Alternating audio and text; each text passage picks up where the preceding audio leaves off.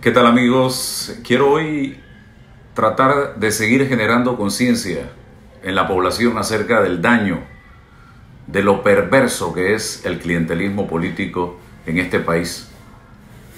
Y me remonto precisamente a una entrevista que hace un par de años le dio el cardenal en ese entonces, Bergoglio, hoy el Papa Francisco, a un periodista norteamericano. Y en aquella entrevista con este periodista, el cardenal decía, la pobreza es una creación de los políticos. Miren ustedes, y añadía sabiamente que los políticos de uno u otro bando se servían de los pobres para mantener sus votos y las reelecciones.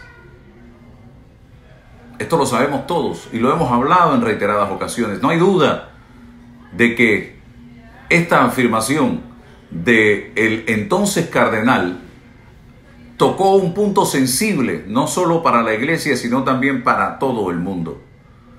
Señores, la pobreza es, de acuerdo con esta interpretación, el único asunto que le importa a los partidos políticos, porque los pobres son esa carnada, así es, de las diversas ideologías, no importa si es izquierda o si es derecha, porque el socialismo, por ejemplo, socorre a los pobres, pero no hace esfuerzos verdaderos, contundentes, para acabar con la pobreza, porque ellos son la carne de cañón para mantenerlos atados a las elecciones impidiendo su desarrollo y el bienestar.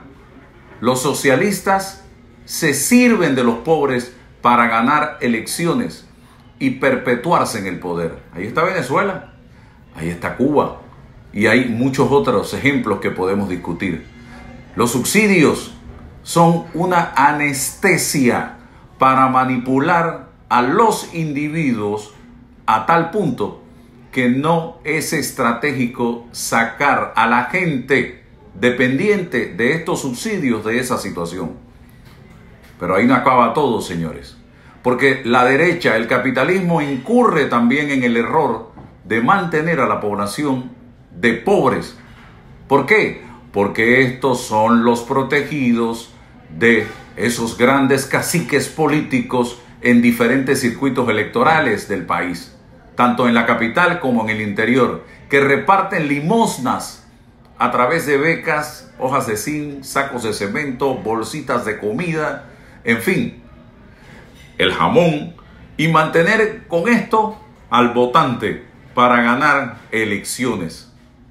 Mientras más pobres, más menesterosos existan, menos educación van a alcanzar y por lo mismo esa ignorancia de nuestra gente pobre los hace fácilmente manipulables por los políticos, por los caciques en todas las regiones del país.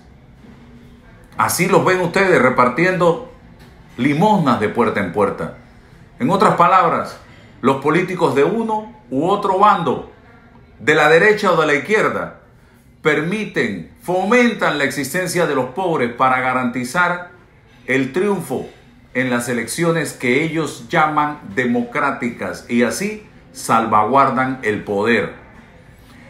En toda clase de democracia, aún en aquellas en la región donde vivimos, en la que se jactan de ser igualitarias, no existen signos de que la pobreza sea la máxima prioridad de los gobiernos como para terminar con esto de una vez y por todas.